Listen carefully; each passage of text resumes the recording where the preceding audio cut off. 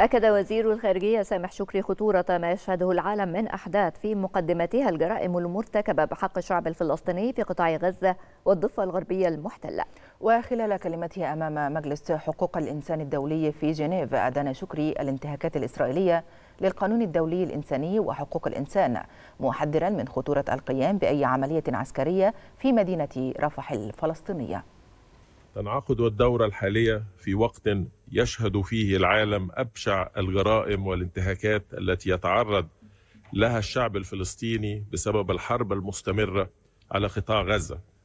وما تشهده الضفة الغربية بما في ذلك القدس الشرقية من استيطان وهدم للمباني واقتحامات عسكرية وغير ذلك من الانتهاكات التي رصدتها تقارير وبيانات أممية.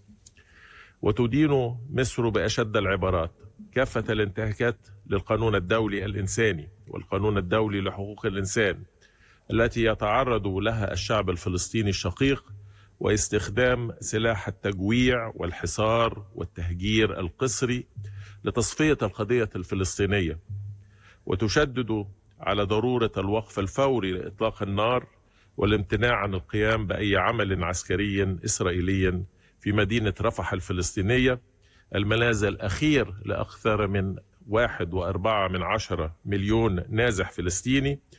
ونحذر من أي عمل عسكري في هذه الظروف لما له من عواقب كارثية تهدد أسس السلام في المنطقة.